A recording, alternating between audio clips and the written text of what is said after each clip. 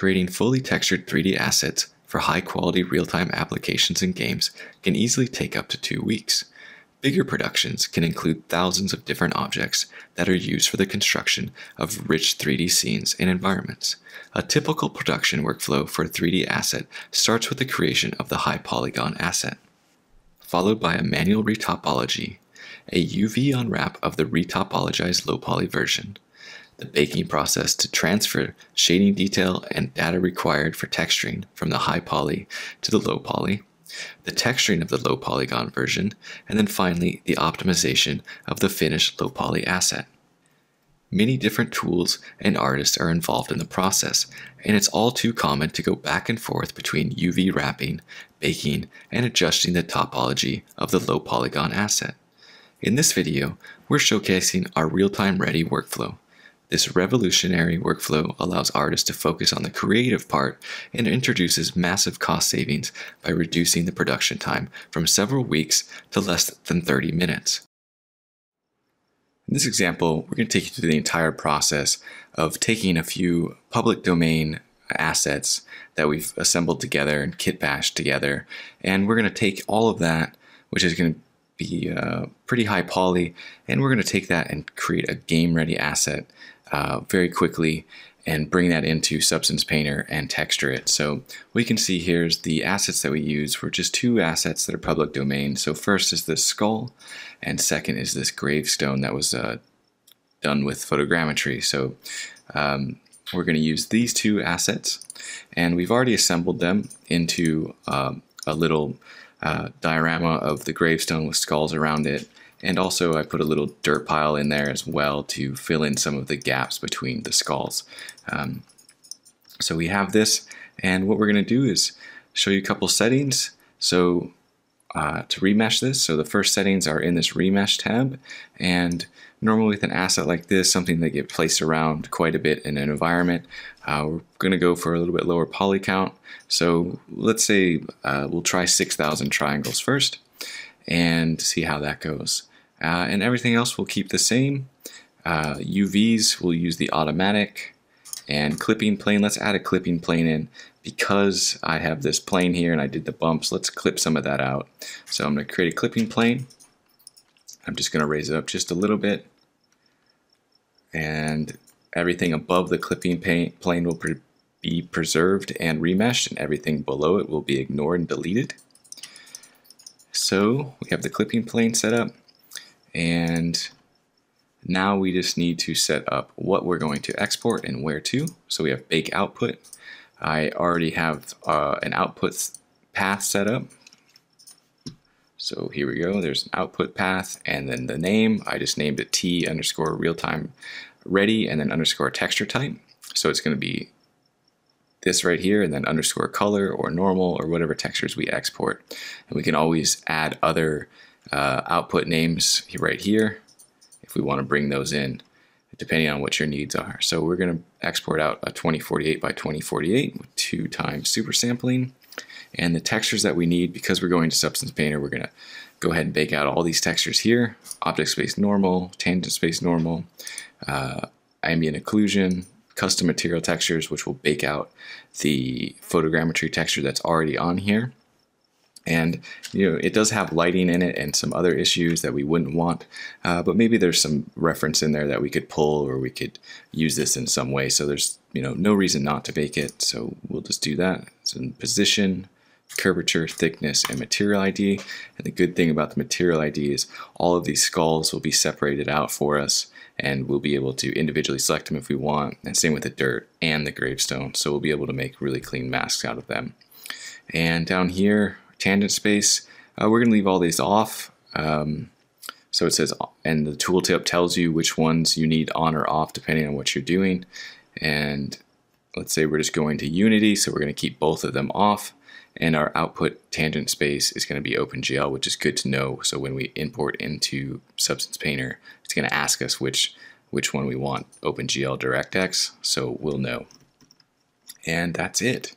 So now we're ready to go ahead and create this mesh. So I'm going to go back to the remesh tab, come down to the bottom, select everything, and then remesh selected meshes. And this is only going to take a, minute here, but you know, all the fun part has been completed.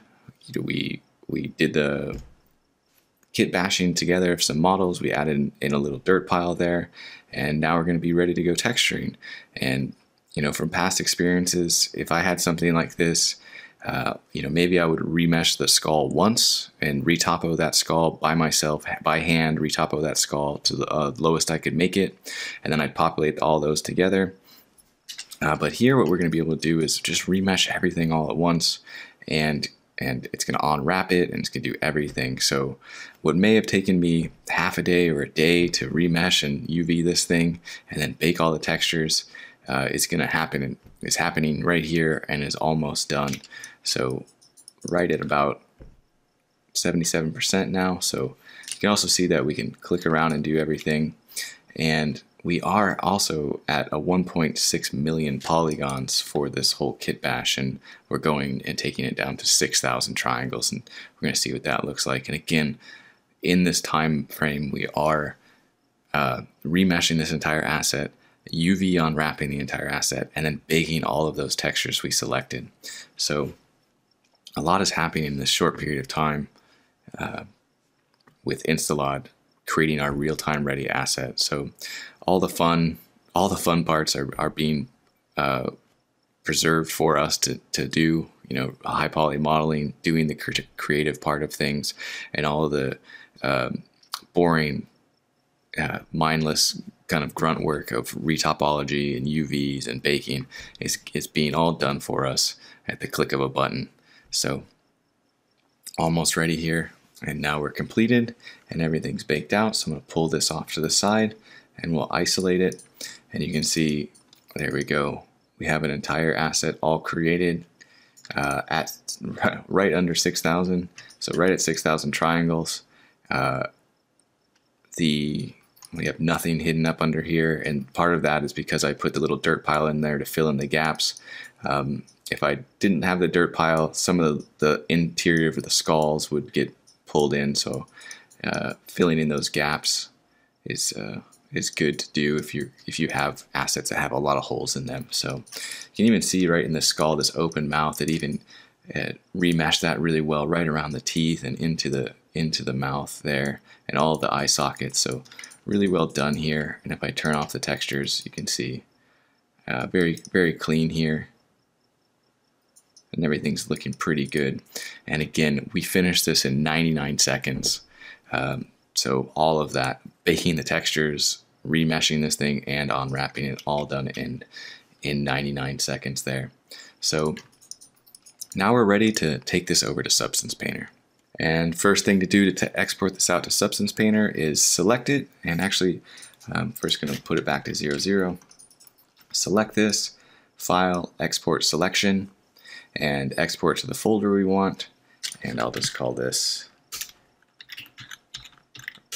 real-time ready underscore SP for Substance Painter. And what we need to export out are our tangents and binormals here uh, because everything was done for us and baked in.